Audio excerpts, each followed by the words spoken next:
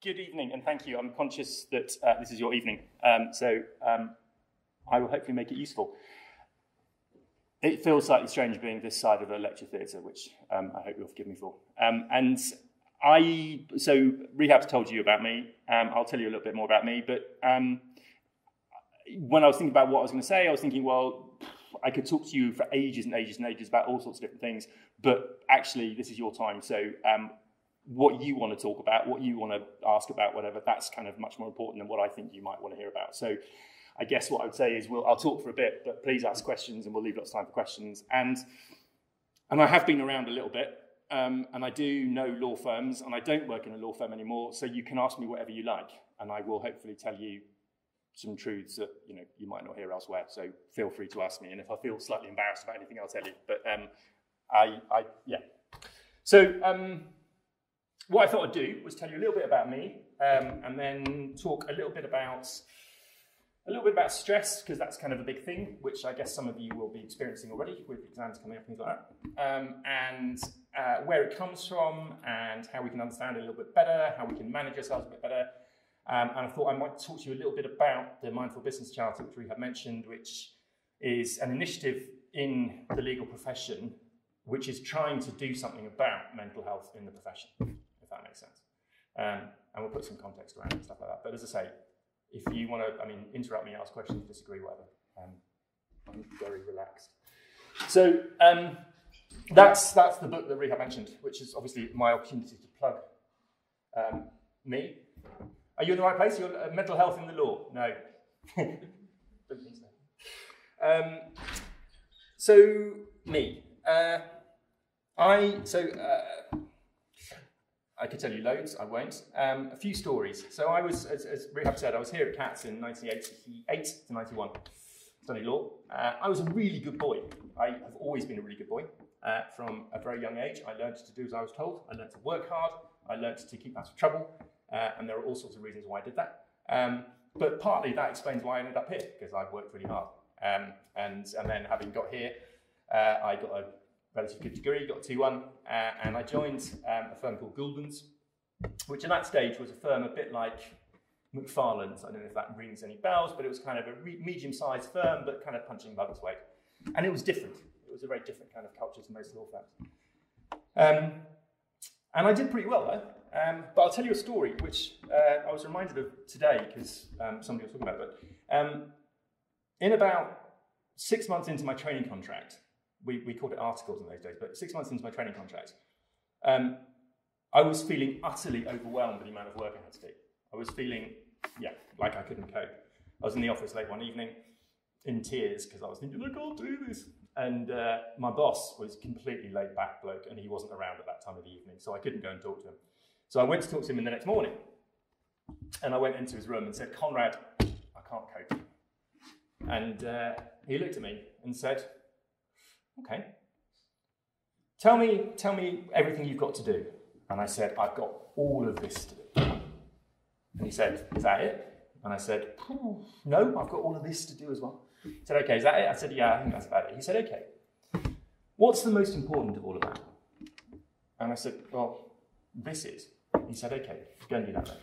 And I went and did it. And I came back and he said, Have you done it? I said, Yes. He said, Okay, well, what's, what's next most important? And I that story is an interesting experience because it's probably the most helpful conversation I ever had in a law firm.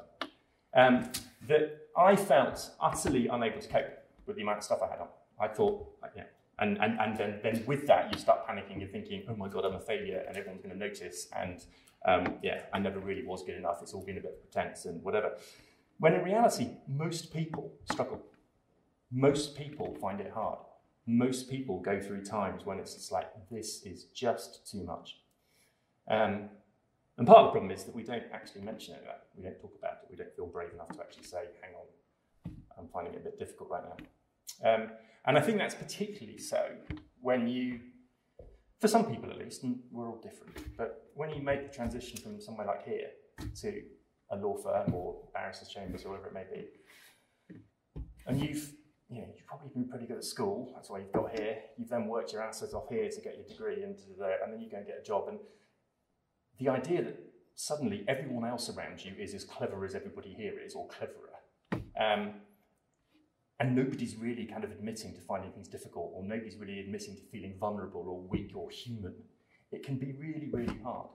Um, and learning to kind of acknowledge that is quite, quite important. And a lot of the work that we're doing right now is around that kind of stuff. So that was 93, 94. Um, fast forward 17 years or something. Um, and by that stage, I would, had been a really good boy for a long time. Um, and I was now uh, a father. I had three kids who were at that age, goodness knows how old. They're now 23, 20, and 17. Um, the, I was a partner, which, you know, that's a big job. Um, I was running, I was on the firm's management committee. My next job was going to be running the firm. That was the plan. Uh, had a lovely big house, lovely family, obviously. Uh, mentioned that. Uh, we just bought a house in France. Things were going really well. Um, we, I was one of these people who said yes to everything. So I was on the kind of the school governing body. I was this, I was that. I was just doing everything. And anybody who looked at me would have said, "He's doing fine, isn't he?" And everyone would have said, "He's happy and he's, you know, isn't he doing well?" And I probably thought that too. Um, and the, uh, I, I know, I knew that I was a little bit under pressure. I knew that sometimes I felt a bit stressed, but I thought, well, you know, of course I'm a bit stressed. I've got a big job, haven't I? And I've got three kids, and I've got this and I've got that. Of course I'm a bit stressed, but it'll be all right, won't it? Just kind of keep your head down, crack on, it'll be all right. Um, and then, kind of early 2011, and this is another one of those conversations that you kind of remember and you think, hmm, that was an interesting conversation. So early 2011, I am being I'm being groomed to be the next managing partner, so the kind of chief executive or whatever the law firm. And the and you know everyone thinks I'm marvelous. Um, and the I, they said, why don't you go and see a coach? Because a coach will help you kind of know, develop your management skills and whatever. I thought, fine. So I saw the coach, um, and he was a lovely bloke. And after a few sessions, so with coaching, you kind of talk to somebody, and it's just like a private little conversation, really, um, a couple of hours a week or whatever. And after a few sessions, he said, okay, think I know you quite well, Richard. I think I understand you. Um, and I know your law firm very well too. And I know all the people here pretty well. I can absolutely understand why the law firm wants you to be the next managing partner. Completely understand that. What I don't understand is what you want. And I, I looked at him and said, Peter, what do you mean? What do you mean, what do I want? I've got a wife, I've got three kids, I've got a mortgage, I've got a pension, I've got this, I've got that, I've got a team, I've got clients, I've got this, I've got responsibilities coming out of my ears. What do you mean? What do I want? And and he looked at me in a kind of kind, supportive way that said, I think you might want to think about that. Um, and I realized, I suppose, at that point, or sometime after that, that I'd never really stopped to think, what do I, what, what really matters to me? Um, I'd done what people wanted me to do, and I'd done it pretty well. Um, but I'd got to age, whatever that was, 41, having done what others wanted me to do. And I don't think, I'm not saying that the, um, that moment was a kind of, that, that, that caused me to have a breakdown, it didn't, but it was probably catalytic in terms of me, my illness becoming apparent. Um, my brain works in kind of images. So I, if you imagine building a house, and you start building, you start with the foundations, um, and then you kind of, once you've got your foundations done, you then start building up your foundations. And then gradually over time, you extend and you redevelop and you do this and you do that. And 20 years later, you've got this massive, massive edifice of a life sitting there. And then one day somebody comes along and says, You know those foundations? They're not there. Um, and it was a little bit like that, him saying, I don't, just don't know what you want. I don't know why you're doing this. Um, because none of the things that mattered to me, none of the values, none of the sense of purpose that I had were being met at all by being the managing partner of the law firm. So I went on holiday in the May half term of 2011 um, with the family to France. And on the way back, had uh, we were driving around the Périphérique south of Paris. And, and suddenly I felt desperately ill. Um, and there were some warning signs, but I didn't really notice them. So basically, the first thing I knew was we're driving on the motorway, and there's lots of fast moving traffic all around us. And I'm driving, and suddenly I think, I've got to get out of here. So I stopped the car and got out and started walking across lots of lanes of fast moving traffic, which obviously wasn't very sensible, until somebody said, Monsieur, what are you doing?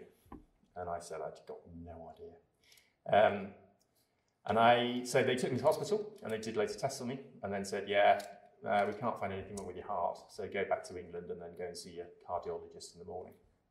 Um, because we've all got our own cardiologist, haven't we? So um, I went to see my GP in the morning, who said, yeah, I don't think it's your heart, Mr. Martin, I think it's your head. Um, I think you've had a panic attack. And I had no idea what he was talking about, um, but I soon learnt. And I'd gone, so we were away for a week, and I never went back to law um, after that week. I had, yeah, before we went away, I had been somebody who could walk into any kind of office, any building. I had no fear of anything. I could take on any cases. I was, you know, whatever. I just, I, I was managing and I was doing stuff, and I was, yeah. And then suddenly I was terrified of the dog bark. I was terrified when the doorbell rang. I was literally crying behind sofas when anybody came to the house. I was a, I was a complete wreck. Um, and it happened in the space of a few very short weeks. Um, so I ended up, after not very long trying to cope at home, my family said, We can't manage with you here. So I went to hospital. Um, and there's, again, one of those conversations that's quite enlightening. The, my psychiatrist, because I had a psychiatrist by this point, my psychiatrist said, Would you like to be admitted to hospital? And I said, Well, I don't know. I don't know about this stuff. You're the doctor. Um, and he said, no, no, it's all about what you want. Okay. So I asked him, I am I ill enough to be admitted to hospital? He said, yeah, yeah, you are definitely ill enough to be admitted to hospital. Okay, so what are they like in there? Because we kind of have these images of what psychiatric hospitals might be like. I said, what are they like in here? He said, well, they're like you. And, and, I, hmm. and when I went to hospital, sure enough, they were like me. They weren't other people. They weren't weird. They weren't you know, whatever. They were just people like us. Um, and I think one of the things that we, one of the, one of the issues around mental health and mental illness is that because we don't talk about it, because we're not taught about it, and we don't talk with our families about it or with our tutors or whatever it may be, we don't know anything about it. And so we kind of hide it away in the cupboard and think it's about other people. And it isn't. It's about people like us. Um, and the people in the Priory, where I spent a good month, um, were just people like us who were just struggling to cope at that time.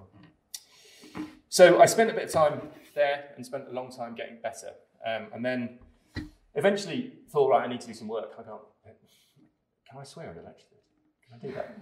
Um, I thought I can't spend my life pissing about on the sofa. So I decided I needed to do something. Um, and I thought, what I'm going to do is something along the following lines. I'd been an employment lawyer, uh, and so I'd been used to dealing with the problems that happen in workplaces. That's what employment lawyers kind of do. Um, and whenever there was a problem in a workplace, I'd always thought, ah, what you need is an employment lawyer. That's the answer to problems in workplaces. So I'd spent 20 years you know, throwing employment law at problems in workplaces. Now, employment law is important, but it's not everything. Um, and having been in hospital, and then having spent quite a lot of time understanding how this works, I was beginning to think, ah, it's not the reason why things happen, the reason why people do stuff is not because of the law or anything like that, it's because of this. So if we can understand this a little bit more, then we might be able to help understand why things happen in workplaces and we might be able to stop things, bad things happening and things like that. So I thought, using my experience as a person, as a human being, as an employee, as a manager, as a lawyer, and also using counselling and psychotherapy insight from kind of understanding this a little bit more, I could look at things in the workplace in a kind of slightly different way through a load of different lenses rather than just through a lens of employment law. Um, and before very long, somebody said, um, you should talk to Byrne Dean. So that BD at the top left is, the, that is Byrne Dean, it's who I work for. And we're all basically ex-employment lawyers who got tired of dealing with the nonsense that employment, law, employment lawyers have to deal with, the kind of discrimination, bullying, harassment claims, and thought, wouldn't it be more interesting to try to create cultures in workplaces in which people don't do that stuff, um, in which people are kinder, fairer, and more productive. So we do lots of work with all sorts of different kinds of organisations around kinder, fairer, more productive workplaces. We know what the law is, we know how things can go wrong, but we look to try to prevent that happening. And we work with lots of law firms and then lots and lots of other sorts of organisations, lots of banks and other financial institutions, lots of insurers, lots of media companies. We work across the UK and internationally and blah, blah, blah. I was supposed to be in Singapore last week, but that got cancelled because of the virus. So we do lots of international stuff. Um, so that's a bit about me. Um, and I would. It's easy to. It's easy to think that um, that mental illness runs a bit like this: that you you're well, and then you get ill, and then you get better, and then if you're really odd, you write a book about it, and then everything's fine, um, and off you you know we all live happily ever after, and that's absolute bollocks. The the idea that I've got better and therefore I'm fine for the rest of my life is absolute nonsense. And even though I spend most of my life in rooms not quite as grand or as big as this, but in rooms talking about mental health and talking about trying to make help everybody being more aware of their mental health, I still have problems. Um, and in earlier this year, after having not slept properly for about six six weeks, I had to take a couple of weeks off work because I was just completely blown out. Um, it's better now, but um, it's something that we all have to uh, manage, I guess. So that's a little bit about me. Um, you can ask me stuff if you want, or we can do that at the end. Let's do it at the end, but if you want to ask me stuff, do. A um, little bit of context about law. So I don't know if you, I don't know how familiar you are with kind of stats around mental health. Uh, that thing on the left is a, um, the idea that we all have a state of mental health. We're all on the spectrum. We have good days, bad days. We might be really healthy. Sometimes we might sometimes be feeling a bit rubbish, and other times we might actually be kind of on the left-hand side of that. But the idea that we all have a state of mental health, we're all on the spectrum. And there are lots of stats that say, oh, one in four of the adult population in any one year would experience a diagnosable mental illness. Yes, that's true. Um, and that's really important to remember. Um, the reality is that we all have a state of mental health. Um, the, the, most important stat, I think, is one in one. We should all be thinking about this. Um, but lawyers are particularly in danger. Um, so, and I don't say this to scare you, but I say this just to kind of put a bit of context around this and say this is something that you know lawyers and law firms should be really focused upon. Um, and I, so uh, Law Society England and Wales Junior Lawyers Division. So that's five years post qualification experience and less fewer. So people up to about, I don't know, age 30, something like that. Um, they do a survey every year. Um, and this was the results from 2019. That just under half of lawyers across, uh, solicitors across the profession in the previous month had experienced a mental health problem, which is pretty scary.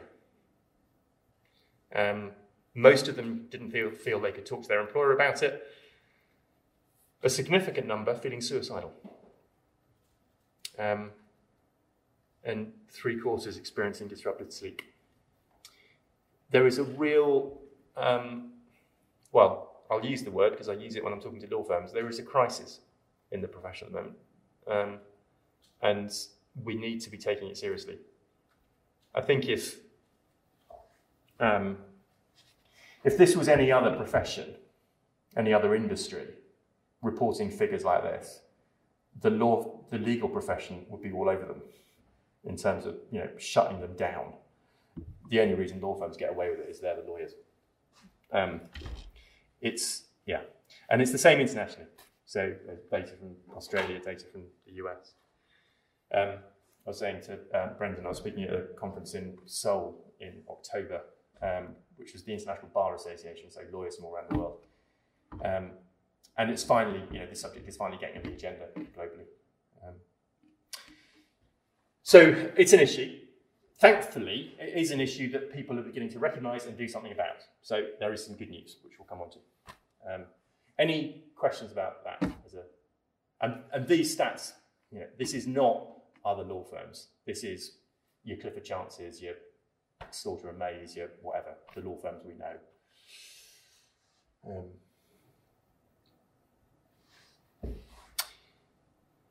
The, so, so what's going on? Um, we could do an exercise, but I won't. Um, stress. Who's experienced stress? Yeah, it's part of part of life. We all get it. Um, what kind of what, what, what, does it feel like to be stressed? Give me some words. Overwhelming. Overwhelming. What happens to your thinking? Frantic. Yeah. How effective is it? Um, it's not very effective at all. The um, we talk about stress quite a lot. Um, I one day decided I wanted to understand what it meant, so I googled what does stress mean, and there's about fifty thousand definitions of stress. But the one that I didn't read them all, but the one that kind of resonated with me was this: that stress is the state of mind we get into when we think we can't cope, when we think that more is being asked of us than we can do, when we think the demands upon us are exceeding our resources. that makes sense. Um, and there are two bits to that definition. One is the kind of the demands and the resources, and that's important. Um, but the critical thing, I think, is, is it's what we think. It doesn't matter whether I'm right or wrong. If I think that more is being asked of me than I can do, if I think that the demands are greater than I can do, I will feel stressed. Um, doesn't matter whether I'm right or wrong. And when we feel stressed, our thinking starts going haywire. Um, and what we tend to do is two things. We exaggerate the demands.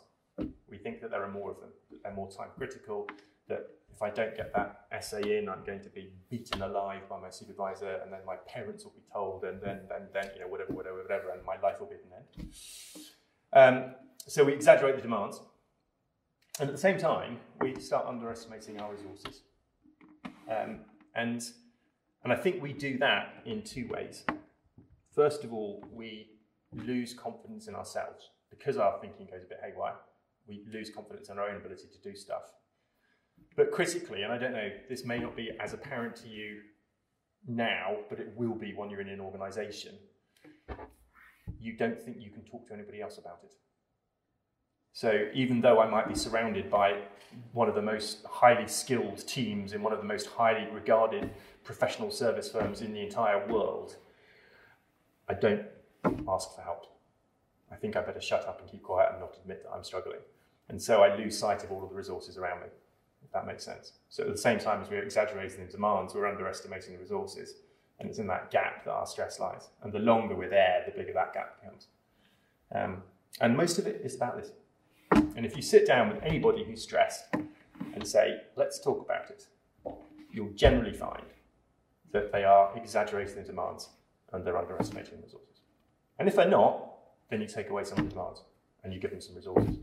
But most of the time, they've got their perspective out, out of kilter. Um, if that makes some sense. We might look at that a bit more in a moment. What's going on um, in our brains with this is quite basic, and this may be nothing new to you. The oldest bit of our brain is the amygdala. A little bit of our brain sits at the top of our spinal column and it hasn't evolved at all. It was there when we were reptiles and it hasn't changed since. And it hasn't changed since because it's really good at what it does. And what it does is pretty simple. It's there to protect us from harm. It's there to alert us when we're in danger and to get us ready to deal with the danger. Um, and what happens is that when we perceive ourselves to be in danger, the amygdala automatically gets triggered. We don't have to be aware of the threat as soon as we become even unconsciously aware of the threat the amygdala gets triggered. But because it's primitive, because it's prehistoric, it assumes that any threat is one of those. Um, now, in London at least, we don't get many of those. But that's what's going on in our bodies the whole time. What would you do if you're facing one of those? I know this is law, not biology, but. You would fight? You'll fight, or run, fight or flight. You might freeze, you might fold, but fight or flight are your two most common things. And what are you going to do if you want to run away or fight? What do you need? Adrenaline? More basically, what do you need? More basically. If I want to run really fast, I need lots of Energy. energy. Where do I need it? In? In my legs. And if I'm going to fight, I need it in my.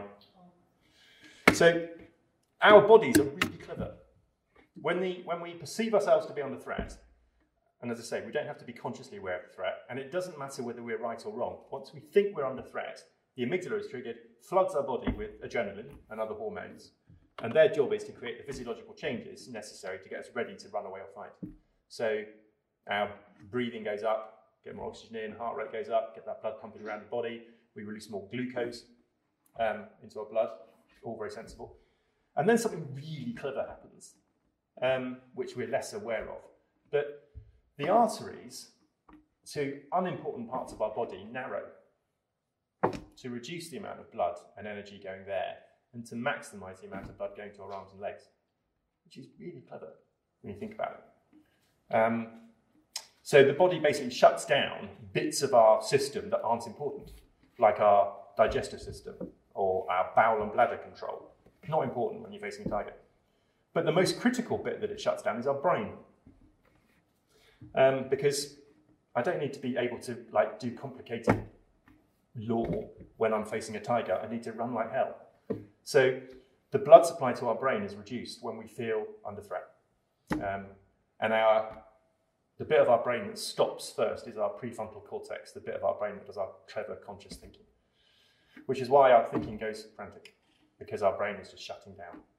Um, which is fine when you're facing tiger. But the problem is we don't anymore. We face our supervisors, our tutors, we face our director of studies, we face our bosses, we face clients, we face the courts, we face the other side on a transaction, we face whatever. None of them are going to attack us physically. But we behave as if they are, and we get ready to run away or fight them, um, which isn't very helpful. And we can't do much about it, really. It's just the way we're made. We're not going to evolve anytime soon. But we need to kind of understand that that's what's going on. Um, does that make sense? So, and if you think about stress, and obviously, you know, what's going on there, that tiger, that's when we feel under threat. I don't think there is a bigger threat that we face as kind of budding professionals than the idea that we may not be able to cope. The idea that I'm going to be found out and that actually, yeah, I am a bit of a fraud after all, um, and I'm not as clever as I thought, and no, I don't know all the answers, and blah, blah, blah. That is a huge, huge kind of existential threat to any of us. Stress is a really big trigger for this.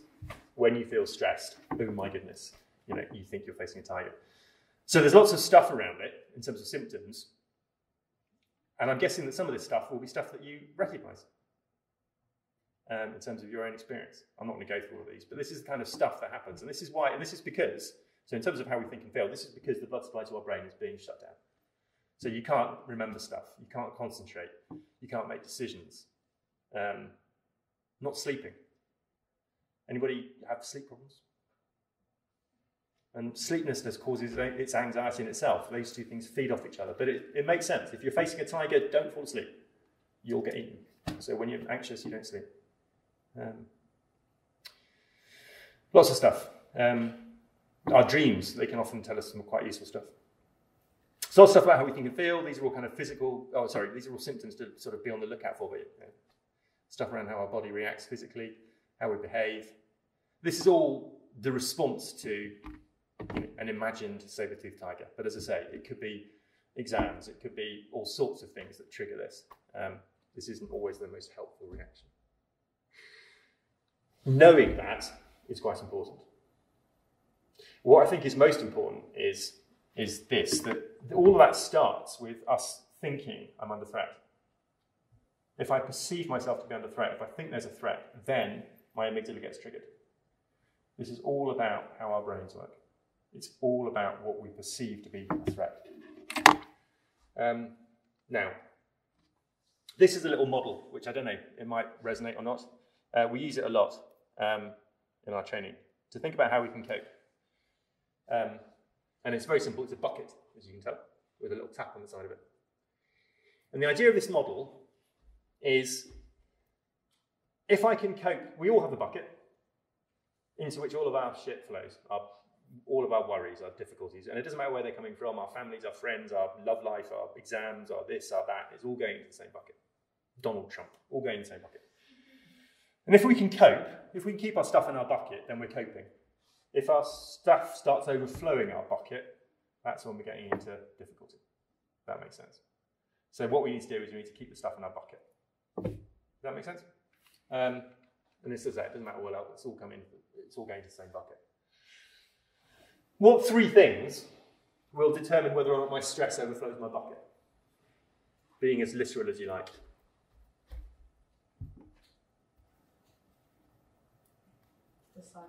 The size of my bucket, If I've got a big bucket, I can get loads of stuff in it. The amount of stuff coming in, yep.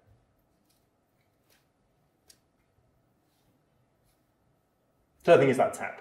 How do you let stuff out? So what do you think goes to how big your bucket is? If you've got a massive bucket, you can chuck a load of stuff in it. How, how do you make a bigger bucket? Overestimate what you can do. Look at this as a positive thing. How can you make a big? How can you make yourself more able to cope? How can you boost your resilience or reduce your vulnerability? Self-confidence. Self confidence, experience as well would help with that. So if you've done stuff before, you might know. Um, sleep is going to be a massive thing. You know, imagine how much more able you're, how much more you're able to cope with if you've had a good night's sleep compared to if you haven't. Um, what we eat and drink, that goes to you know our resilience. Um, our friendships, our support networks, our sense of purpose. Um, what else? How much drink, how much alcohol we drink, how much caffeine we have, how much nicotine we have, all of that will affect the size of our bucket. Um, the weather. If it's if it's sunny, we feel better. Bigger bucket. Rates of depression are higher in the winter because we get less sunlight. Our skin converts sunlight to vitamin D. Um, so getting outside is good for us. Um, there'll be some genetics and other things in there as well. But what about that tap? How do you relieve stress, do you think? How do you get stuff out of your bucket?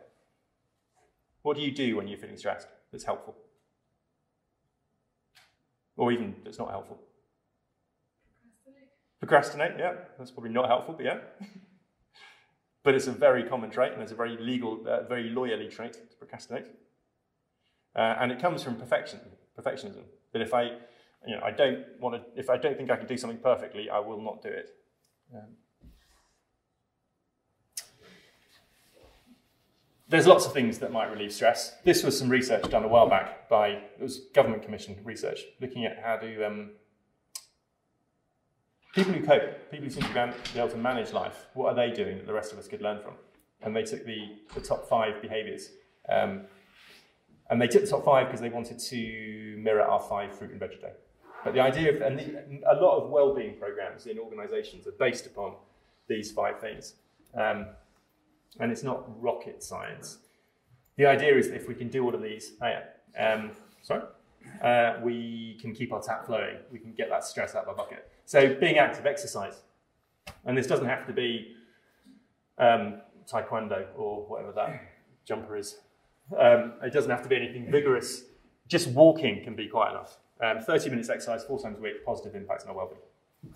Connection, talking to people, having good inter- interpersonal relationships, really important for our well-being. Kind of makes sense. We know that. Um, learning. Who knew? Being at uni is good for you. Um, but it's you know our brains are um, curious. Our brains like to explore. And if we if you imagine doing the same thing day in day out, it's pretty dull, and you'll soon feel pretty shit. Um, whereas if you are able to explore and learn and be curious and you know whatever, good for us. Giving. One of there's, there's a lot of research now around the positive benefits to us of altruism. If we look after somebody else, we feel better, which is nice. Um, and obviously that can be in all sorts of different ways, but you know, simple stuff, being nice to your neighbour. Um, and taking notice. Um, did anybody do any meditation, mindfulness? A little bit, maybe. Um, yeah, but. Just spending more time in the present moment, spending more time just noticing what's going on. Um, we spend so much of our lives worrying about tomorrow or yesterday, um, which we can't do anything about. Um, and when we're thinking about tomorrow or yesterday, we worry. But all we can do with right now is be in it. Um, so if we can spend more time kind of in the present moment, and it could be through meditative practice, whatever, but just know, paying attention, taking notice. You know, when you go for a walk, actually noticing what the weather's doing, noticing the seasons, noticing, yeah, Um, something I hear time and time again, um, and I always thought I was one of these people too, was that you feel that the more that you take on, the better you are at getting things done. Like the more stressed I feel, the more productive I am. So how is it that we're supposed to sort of toe that line between taking on too much um, and then taking off enough to make sure, taking on enough to make sure that we're still like productive? If you map, lovely question. Um, what should I do? If you map um, pressure, and productivity. and productivity. Exactly. Or for that, you can have happiness as well, probably. But we all have a graph that looks a bit like that. Normal curve, Uh, what do you call that? A normal distribution. normal distribution curve. I'm an economist. There you go. and we're all so we all have that, and um, we all have that sweet spot here, where it's not too hot and not too cold, where the pressure's just about right. Because what here, if you haven't got anything to do, you don't do anything. Uh, or if you haven't got very much to do, somehow you manage to you know, piss out a whole day without getting anything done whatsoever. Um, if we don't have enough to do, we don't do, any, do anything. But equally, obviously, when we get too much pressure, so it's finding that, that sweet spot. We all need pressure, but it's just not having too much. That makes sense. And when you when you start getting into that territory, and that's really where stress lies. When you start getting to that, that's when you're experiencing a lot of those symptoms around anxiety sort of all the time. You know, if you're always finding it hard to concentrate, if you're always not sleeping well, if you're always irritable, if you're always, you know, whatever, that's a good sign that you're here. Um, does that make, does that? And we all have a graph like this, and it moves. So, you know, if I think about, this to make me sound really old and patronising, but if I think about standing in front of a lecture theatre like this when I was 18, God know would I have done that. You know, I'd have been absolutely bricking myself. But now I can do it. So my curve has moved along a bit. Um, but equally, yeah, there are times when I, you know, most, most of the time my curve might be here. Sometimes I might be struggling a little bit and it'll be here. Um, but we all have something to like that. Um, learning to say, it's getting a bit hard. Um, to ourselves, first of all, admit that, um, and then to somebody else. Lawyers, lawyers get stressed here when they haven't got enough to do. So they think, oh my god, I haven't got enough work to do, and therefore that must mean that I'm a rubbish lawyer, and you know I'm going to get sacked. Um, not all lawyers, but sometimes. The um, and that can be quite, you know, finding that, and of course you, you never know there's that lovely expression, don't bite off more than you can chew, which is perfect, except you don't know until you have. That makes sense. You don't know until you have. um, but once you have bitten off more than you can chew, take it out, because otherwise you'll choke. Um, you know, if you find yourself here, stop doing some stuff. Get off some stuff. And probably when you are finding yourself here, the first thing to do is to stop and think, hang on, this isn't a very good place. So that stuff is all about how we keep our tap flowing. And weirdly, you know, if you think about that model and think about being really busy, so I've got loads of stuff on and my bucket's really full. What we tend to do then is to say, well, I haven't got time to exercise, and I haven't got time to see my friends, and I haven't got time to be nice to somebody, and I haven't got time for any of this stuff because I've just got so much to do. It's when our bucket is full that we need this stuff more than ever. That makes sense. Uh, could we say like you know the, I heard many I hear many people saying they're busy always and to meet up uh, I need to plan that three three weeks in advance say uh, in my perspective I don't see them as busy because I know people who are really busy say like co-founder of startups that are really genuinely busy Mm. other people that say they're busy, I don't think they're busy. I think they don't prioritize well. In terms of, you know, they say they're busy, but they don't prioritize well their own well-being in terms of being active, in terms of being altruistic, in terms of learning. Mm. of- I think that's absolutely right. The most successful people are people who look after themselves. And then I think there's something else, um, which um, come on to. Um, but taking yourself seriously enough, caring about yourself enough to actually take care of yourself is hugely important because nobody else is going to do it. Um, I spent quite a lot of time assuming that somebody else would look after me. No, nobody else will. You've got to do it. Which is fine, but you've got to actually take time and effort to do it. So that's about how you let stuff out of your bucket. What about the stuff coming in? Um, anybody know who that bloke is? No, but kind of similar, kind of Epictetus, um, who was a Greek philosopher, who um, famously said this It's not events that cause us our difficulties, but how we think about them. It's not the world that causes our problems, it's how we think about it. Um, there was a lot of so we've just been through the whatever it is, 75th anniversary of the liberation of the concentration camps.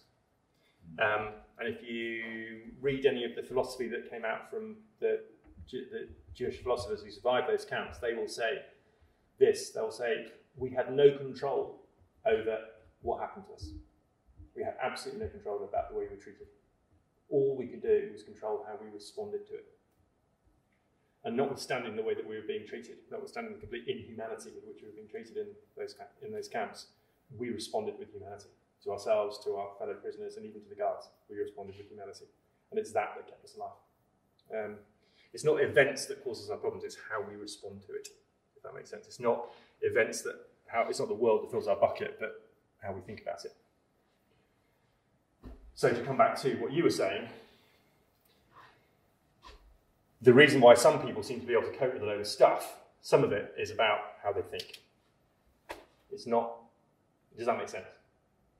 Um, you know, if I think, if I think it's fine, I, I know all of my contract law, um, and yes, there's an exam tomorrow, but I know I've learned it all and I've got it all off pat, then I won't feel so worried about that exam. If, however, I think I haven't done any revision whatsoever and I think I'm really daft, then I will feel really worried about that exam. Neither is right or wrong necessarily, but it's all about how I think. It's not the exam itself that is affecting how I'm reacting to it, it's how I think about it. That makes sense. Um, which is this. Um, I better shut up soon. Um, ABC. This is uh, CBT. Anybody familiar with CBT? Cognitive behavioral therapy. It's a form of therapy. Um, it's one of many, but it's useful for this model. This explains how, we, how our brains work. Something happens, and we respond to it. Um, and we tend just to notice those things. So, I don't know, uh, our tutor comes into the room and we start feeling worried. A tiger, and I run away. It's not the tutor that makes me scared. It's not the tiger that makes me run away. It's, it's what I think about it. It's my beliefs. If you know, what, what, happens when I see a tiger? Um, well, I'll give you a different, different example. So I'm sitting in my room, and Brendan's my boss, uh, and Brendan phones me up, and I start getting worried. Imagine that last week Brendan had asked me to do some report, and I haven't done it. Brendan phones me up, activating event, something happens. I start feeling scared. Why am I feeling scared? What am I thinking that's making me feel scared at that point? Last week he asked me to do a report and I haven't done it. And now he's phoning me up. Go back a few steps. First of all, I'm thinking he's phoning me up about the report. Secondly, he's going to find out that I haven't done it. Thirdly, he's going to be angry. Fourthly, I'll get fired. Fifthly, I'll probably then my wife will leave me and then I'll have to live on a I'll bench and I'll die of hypothermia or coronavirus or something. Um, we probably shouldn't be joking about coronavirus, should we? Yet. Um, sorry. Um, it's not Brendan phoning me up, the activating event, that makes me scared. It's all of those thoughts. I don't know why he's phoned me up. I've got no idea why it's phoned me up. But my brain has decided it's because he wants to know about the report. That's why he's phoning me up. And then I'm going through all those steps. I don't know. That's true. But now I'm sitting in my room, shit scared, and my brain is now not working. Which isn't very good because my boss is on the phone. And we do this all the time, you know, not necessarily with our bosses, but with our tutors or whatever. Um, he might be phoning me up to say, Richard, that report I asked you to do, don't worry about it, we don't need it anymore. He might be phoning me up to say, Richard, I just wanted to say how lovely you are. I don't know. But our brains tell us, no, no, he's phoning me up because I'm in trouble. It's not the event that causes us our problems, it's what we think about it. That leads us to being scared. And that then triggers the amygdala, which then triggers us to be blah. Um, so if we can capture those beliefs, if we can understand how this works, then we can do something about feeling anxious and stressed, if that makes some sense. Um, and there are some really common, we all have our own messed up nonsense in here, and that's what therapy is about. But, um, and we could spend some time talking about that if you like. But um, there are some really common thinking patterns that we all do a bit of. And um, these, if you think about these, think, these thought patterns, were, if you think about people who are stressed, and believe me, in a law firm environment, you know, there are quite a lot of people stressed. And you talk to them, and I do this a lot, you talk to them about, tell me why you're worried. Tell me what you're stressed about. It will be riddled with these thinking patterns. So, first of all, catastrophizing. Worst case scenario, you know, it's going to, making a mountain out of a molehill, worrying about everything that could possibly go wrong. Um, everyone does this, but lawyers are paid to do this. That is a lawyer's job, is to worry about everything that could possibly go wrong and then to stop it happening, or at least to provide what should happen in that situation. That's what we do. And the more we do it, like anything, you know, the more you practice, the easier it becomes. And the more you do it automatically. that makes sense. Yeah, when you, anybody play the piano? Or a musical instrument of any kind? You know, when you first start doing it, I know this because I'm trying to learn the piano at the moment, I have to think about every single note. And if you've got to think about every single note, it sounds shit. But when you look at a concert pianist, they're not thinking about every note because they've done it loads. They don't have to think about it. The more you catastrophize as your job, the more you're going to do that all the time. Um, personalization, the way it's all about us, it's all my fault. Or if something's gone wrong, it's my fault. If something's going to go right, I've got to make it happen. The world is happening to me. Nah. Most of what happens out there is not about me. But we kind of see it as being about us. So when, um, uh, well, you know what I mean. Uh, and lawyers are, you know, lawyers like most professionals are pretty good at personalizing. Um, Overgeneralization, it's always this, always that. Black and white thinking, things are either good or bad, right or wrong, nice or nasty. People are either on my side or not. The world is grey. Um, but when we force things into those extremes of black and white, um, and it's, it's what lies at the heart of perfectionism and therefore procrastination. Um, you know, the, the, if you get 100%, well, no, if you get 70% right at O level, at GCSE, you get an A grade. At A level, you get an A grade. At university, you get first. In a law firm, if you get 70% of it right, you get sacked. Um, you know, you can't, you're not allowed, or so people think, you know, you're not allowed to make mistakes. Everything's got, you know, if it's not perfect, I'm a disaster. Um, now, that's not actually true, but that's how people think. Negative inferencing, the way we, um, the way we think what we know what people mean. Um, so I don't know, I, I walk down the road and I see I see you tomorrow and I wave and you don't wave back. And I think, oh, I've upset her. She's angry with me. I'm a bad person. When in reality, you know, you might not have seen me. Um, you might be busy. You might be pissed off with somebody else and pissed off with Brendan. You might just be rude, you know. But no, no, we make it about us. We make it our fault. Um, email is a really good way of where we confuse people's meaning the whole time. Um, I don't know if you so I am old enough that I didn't have email when I started work. Um, but the, when we communicate normally, face to face, about 30% of our communication is words. The rest of it is our body language and our tone of voice. And that's what really helps us, is that 70%. With email, all we've got is the 30%. And so we make up the rest, we infer the rest. And so when you send me an email, I've got your 30% words, and then I have to fill in the gap. And I fill it in with whatever shit is going on in here at that particular time.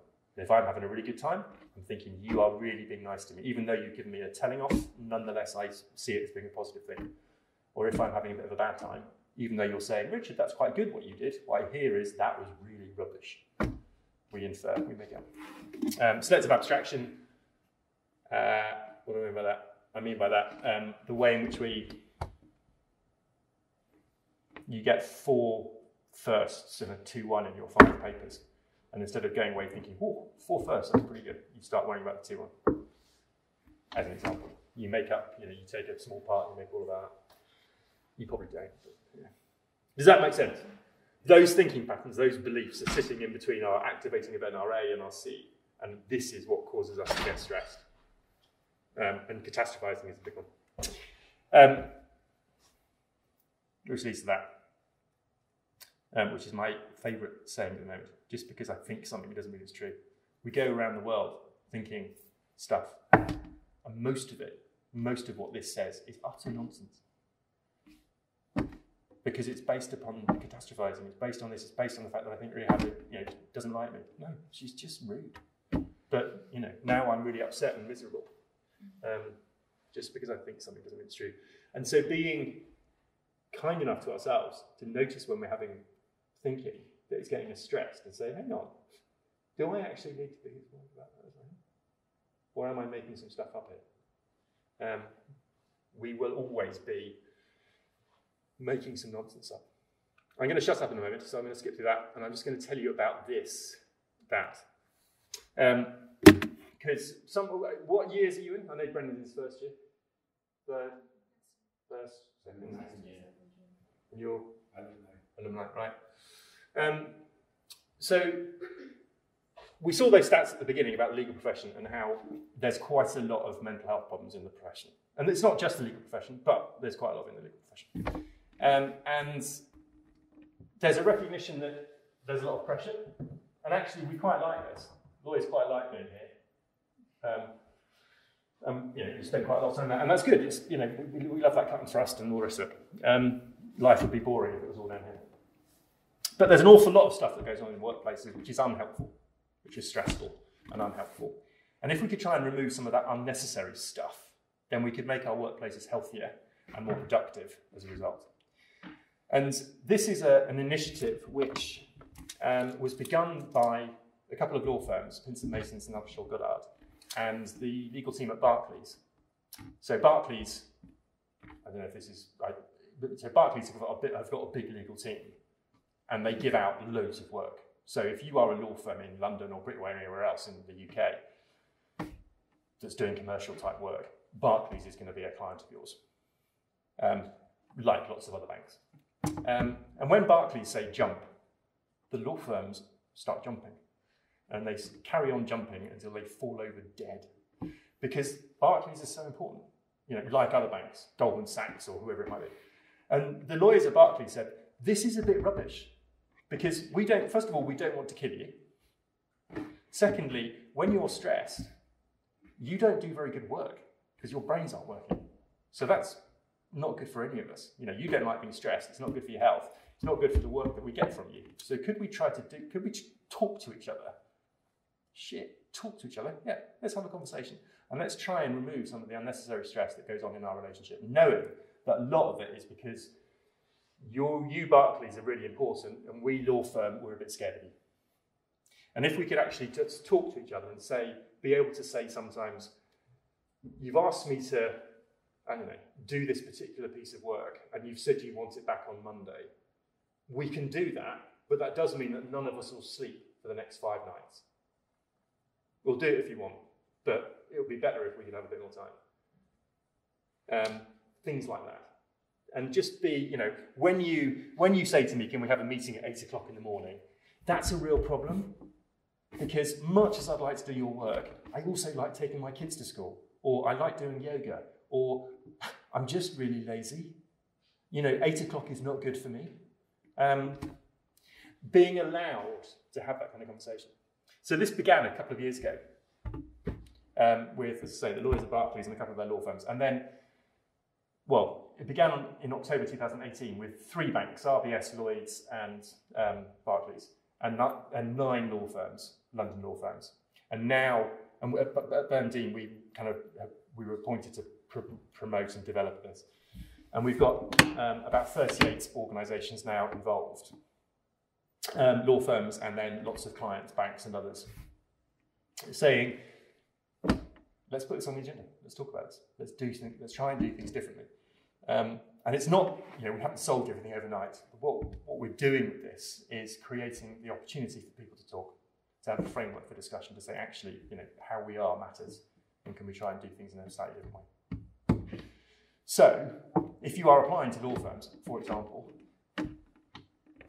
one of the things, or one of the things I would say you, you should think about raising, if this is of interest is what do you do around mental health? And are you signed up for the Mindful Business Charter? And if not, why not? Um, what do you do to support your trainees' well-being? What do you support? You know, what, what supports do you have in place? Where do I go to? What are the what are the hours like here? Um, I'm going to shut up because I said I would only talk for half an hour. It's about an hour. Questions, thoughts, anything?